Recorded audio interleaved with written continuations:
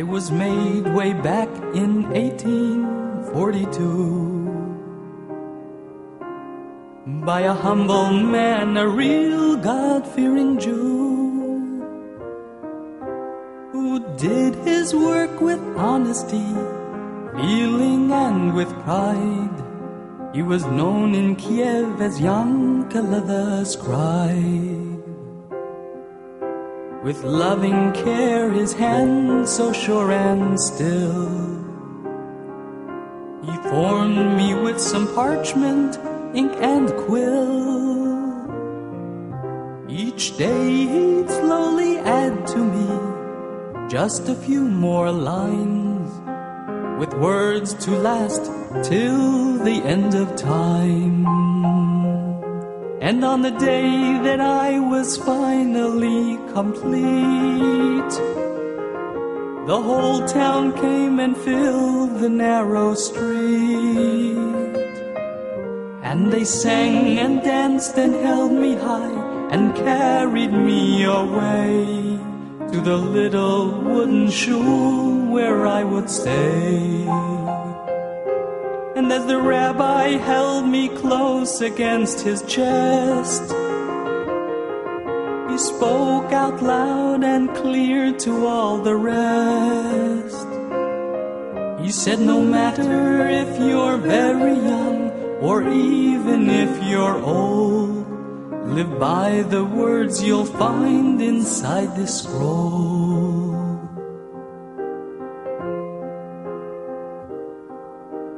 Days a week they read from me out loud.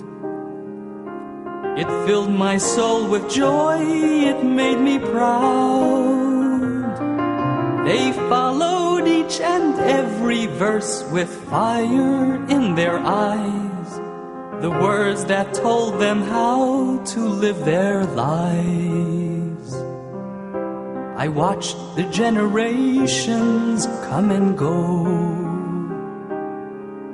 I saw the old men die, the children grow. But never in a century did I miss my turn once. For the fathers, they had left me with their sons. But the hatred from the west came to Kiev. Jews who had not fled. But Moshe the Shames, he was brave and he was bold. He hid me in his cellar, dark and cold. And for years and years I waited all alone for the people of my town to take me home. And they'd sing and dance and hold me high when they carried me away to my little wooden shul where I would stay. But it was someone else who found my hiding place. And to America he sent me in a crate. And the men who took me off the boat, they said I was a prize. But they were Jews I did not recognize. And in a case of glass they put me on display. Where visitors would look at me and say, How very nice, how beautiful, a stunning work of art. But they knew not what was inside my heart. And across the room I saw upon the shelf some old friends of mine who live back in Kiev. A silver pair of candlesticks, a menorah made of brass. We'd all become mere echoes of the past.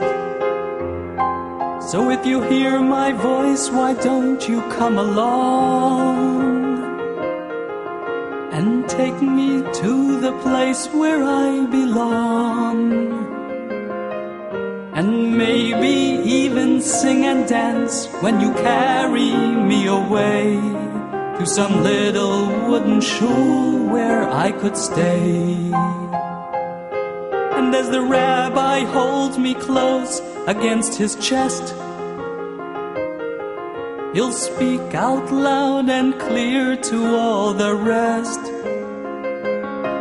He'll say, No matter if you're very young or even if you're old, by the words you'll find inside this scroll.